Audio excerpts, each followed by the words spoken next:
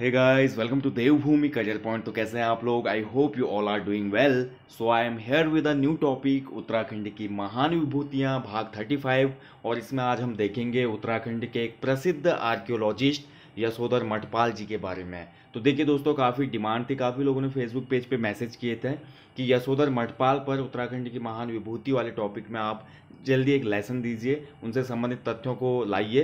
तो इसीलिए ये वीडियो आपके लिए लेकर आया हूँ। साथ ही देखिए कुछ और बातें हैं जो बताना चाहूँगा। देखिए, ये जो क्लासेस चलती हैं, उत्तराखंड की महान विभूतियाँ हो या उत्तराखंड स्टेटिक जीके का कोई भी पोर्सन हो, ये बहुत ज़्यादा इंपॉर्टेंट है दोस्तों आपके ग्रुप सी एग्ज़ाम के लिए यू के प्रारंभिक परीक्षाओं के लिए। इसलिए जो भी नए कैंडिडेट इस वीडियो को देख रहे हैं, उनको बोलना चाहूँगा। देखिए, पैंतीस भाग में इसमें दे चुका हूँ। तो इससे पूर्व भी जो मैंने महान विभूतियों के बारे में दिए हैं टॉपिक उनको ज़रूर वॉच कीजिए। आपको एग्ज़ाम में बहुत ज़्यादा हेल्प मिलेगी दोस्तों, ठीक है? तो चलिए आज देखेंगे यशोधर मठपाल जी, बहुत से लोग जानते होंगे इस नाम को। उत्तराखंड के एक प्रसिद्ध आर्कियोलॉजिस्ट हैं।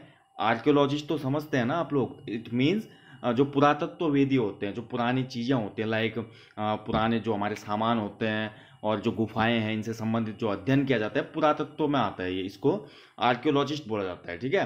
तो इससे संबंधित जितने भी महत्वपूर्ण तथ्य हैं, वो आपको मिलेंगे इस वीडियो में। बहुत ज़्यादा इंपॉर्टेंट सेशन है। तो चलिए शुरू करते हैं। अमूमन जैसा हम देखते हैं हमेशा, सबसे पहले बात करेंगे जीवन परिचय की।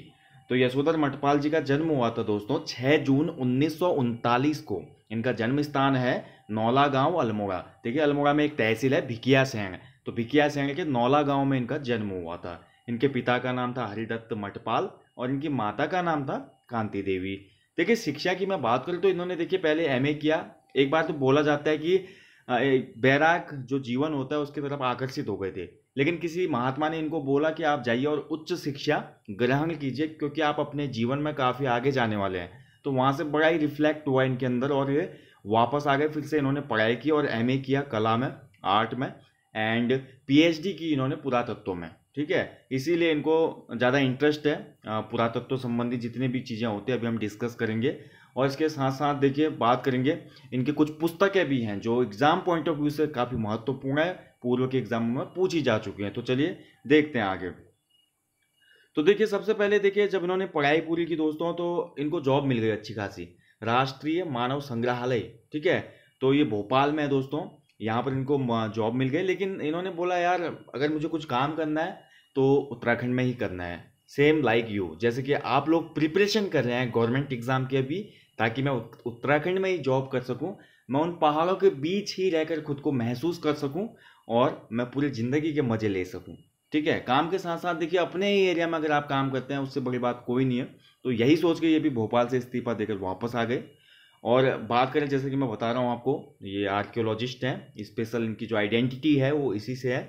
तो प्रागैतिकासिक जो पुरातत्व एवं लोक कला संस्कृति है दोस्तों, इस पर मठपाल जी ने 19 मौलिक पुस्तकों का सर्जन किया है और साथ ही इनके 200 से अधिक शोध पत्र प्रकाशित हुए हैं। देखिए पीएचडी किया इन्होंने आर्कियोलॉजी में। तो निश्चित है कि जो शोध पत्र हैं, इन्होंने जारी किए होंगे और 200 से ज़्यादा शोध पत्र हैं, ये बहुत बड़ी एक बात है। इसके साथ मैं बात करूँ दोस्तों, देखिए, उत्तराखंड की जो काष्ट कला है कास्ट कला तो जानते हैं ना आप? कास्ट मतलब लकड़ी, ठीक है, लकड़ी की कला। तो आपने सुना होगा उत्तराखंड की एक जनजाति है जो कास्ट कला में काफ़ी ज़्यादा प्रवीण है। जी हाँ मैं बात कर रहा हूँ राज़ी जनजाति, जो कि मूलतः पिथौरागढ़ जनपद में पाई जाती है। तो इस जनजाति में जो काष्ट कला है, बहुत ज़्यादा फ़ेमस है। उनकी बनावट कास्ट कला में सभी चीज़ें आ जाती हैं। लकड़ी के बने हुए बर्तन, लकड़ी के बने हुए औज़ार, अन्य जो भी महत्वपूर्ण उपयोगी चीज़ें हैं लकड़ी की बनी हुई, वो कास्ट कला के अंतर्गत आती है। ठीक है? तो ये जो उत्तराखंड की कास्ट कला है दोस्तों, इसके लिए इन्होंने काफ़ी महत्वपूर्ण कार्य किया, दुनिया के सामने प्रेजेंट किया इस कास्ट कला को कि उत्तराखंड में ये है। ठीक है? और देखिए, उन्नीस में इटली में एक सम्मेलन हुआ था दोस्तों, गुफा कला। ठीक है? जो गुफा होते, केव आर्ट होते जैसे कि हम देखते हैं, आज भी गुफा कला फॉर एग्ज़ाम्पल हमारे उत्तराखंड में भी काफ़ी ग्वारखिया उडियार है, जहाँ पे ऐसे गुफा चित्र मिले और लाखों उडियार है अल्मोड़ा में। तो इसी तरह के गुफा की भी क्या होते हैं दोस्तों? एक सम्मेलन होते हैं। तो इटली में उन्नीस का जो सम्मेलन हुआ था, उसकी इन्होंने अध्यक्षता की थी। तो इतना ऑनर मिला था इन्हें, अपने काम की वजह से ये ऑनर प्राप्त किया। देखिए, इन्हें international federation of rock art organization के द्वारा मानद उपाधि भी दी गई है, ठीक है? इसके साथ साथ उन्नीस सौ पैंसठ में कन्हैया लाल प्राग समिति द्वारा कलाश्री सम्मान, अखिल भारतीय कालिदास पुरस्कार तथा सन 2005 में इन्हें नागरिक सम्मान है जो पद्मश्री, इसे सम्मानित किया गया। ये पॉइंट थोड़ा महत्वपूर्ण है, ठीक है? क्वेश्चन बन सकता है कि यशोधर मठपाल को किस वर्ष पद्मश्री से सम्मानित किया गया था? तो इन्हें सम्मानित किया गया था 2005 में, ओके? अब बात करते देखिए, सबसे महत्वपूर्ण। इन्होंने, देखिए, उत्तराखंड की संस्कृति को पिरोने के लिए, जोड़ने के लिए, बचाने के लिए उन्नीस सौ तिरासी में भीमताल में लोक संस्कृति संग्रहालय की स्थापना की।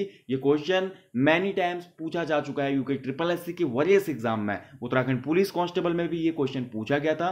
तो आपको याद रखना है पब्लिक फो फोक, जो हमारा म्यूज़ियम है, वो कहाँ पे लोकेटेड है? भीमताल में। स्थापना किसने की है?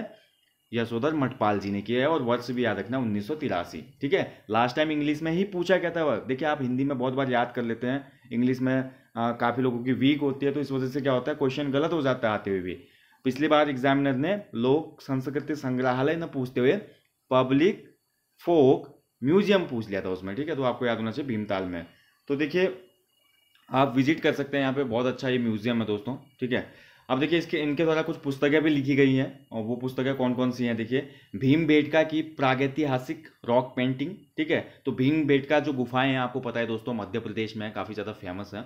इसके साथ बात करें, देखिए, भोरावली पहाड़ी की रॉक कला, कुमाऊं हिमालय में रॉक आर्ट, केरल में रॉक आर्ट, कुमाऊं पेंटिंग, पूछा जा चुका है प्रीवियस एग्ज़ाम में। उत्तराखंड का कास्ट शिल्प, ये पुस्तक भी पूछी गई है। वरियस एक आई थिंक प्रीवियस जो एग्ज़ाम होता है एटीन में या नाइनटीन में ग्रुप सी का कोई, उसमें पूछा गया था ये, ठीक है? उत्तराखंड का कास्ट शिल्प, इस पुस्तक के लेखक कौन है? इसके साथ साथ देखिए, प्रागैतिहासिक मानव के कार्यकलाप, कुमाऊं की सूर्य एवं कार्तिकेय प्रतिमाएँ ठीक है? और चित्रित पाषाण ये इनके कुछ पुस्तकें इनको आप याद कर लीजिए दोस्तों। इसमें से जो स्पेशल या इंपॉर्टेंट बोल सकता हूँ मैं, कुमाऊं पेंटिंग उत्तराखंड का कास्ट शिल्प और इसके साथ साथ ये रॉक कला से संबंधित जो भी इनकी रचनाएँ है, ये काफ़ी महत्वपूर्ण है एग्ज़ाम पॉइंट ऑफ़ व्यू से। तो चलिए आगे बढ़ते हैं। तो दोस्तों, अभी भी देखिए ये कार्यरत हैं दोस्तों, बहुत ज़्यादा एफर्ट दिखाते हैं, काफ़ी सेमिनार इनके होते हैं, काफ़ी लोग इनसे सीखने के लिए आते हैं उन सेमिनारों में। और वर्तमान समय की मैं बात करूँ तो अभी उत्तराखंड संस्कृति कला एवं साहित्य परिषद के उपाध्यक्ष भी हैं और एक स्टेटमेंट एक कोड बोल सकते हैं इन्होंने दिया हुआ है, जो कि आप जैसे यूथ के लिए बहुत ज़्यादा इंपॉर्टेंट है मोटिवेशन के लिए बहुत ज़्यादा इंपॉर्टेंट है। दीपक जब जल उठता है तो उसे टोकरी के नीचे नहीं रखा जाता। कोई न कोई उठाकर ऊँचे दीपदान पर रखेगा ही। विश्वास करो दीवाल में लगने योग्य पत्थर अधिक दिनों तक धूल में पड़ा नहीं रहता। कोई ना कोई उसे ऊँची दीवार पर रखेगा ही। यशोधर मटपाल जी के बहुत ही अच्छे महत्वपूर्ण शब्द हैं दोस्तों, ठीक है? यानी कि अगर आपके अंदर टैलेंट है, अगर आपके अंदर डेडिकेशन है, आपके अंदर वर्क हार्ड करने की कैपेबिलिटी है तो आपको कोई भी नहीं रोक सकता कुछ भी अचीव करने से। यही मैं हमेशा बोलता हूँ दोस्तों, ठीक है? देखिए, चलते रहें, बस रुकना नहीं है। ये मेरा एक, हमेशा से आपको, मैं बोलते रहता हूँ, आप लोग परेशान भी होंगे सुन के। हमेशा ज़िंदगी में जो चलते रहता है दोस्तों, वही पहुँचता है कहीं पर, ठीक है? बाकी सपने देखने से कुछ नहीं होता। हकीकत बनाने के लिए हमेशा वर्क करना पड़ता है। So guys thanks for watching और जल्दी मिलूँगा नए टॉपिक के साथ। अब मैं क्लासेस कंटिन्यू करूँगा, आप निश्चिंत रहें। और, अभी देखिए, भाग पैंतीस इसमें हो गए हैं। उत्तराखंड के प्रमुख साहित्यकार वाले में भी कुछ नए नए साहित्यकारों के लिए मैं कार्य कर रहा हूँ, जो रह गए थे तो आप वेट कीजिएगा और अच्छे से स्टडी कीजिएगा। So thank you for watching अपना ध्यान रखें दोस्तों, अच्छे से स्टडी करें। अभी बहुत से एग्ज़ाम होने हैं और एक साथ एग्ज़ाम होंगे तो बहुत ज़्यादा प्रेशर आएगा, इसलिए आप इस समय का सदुपयोग करें।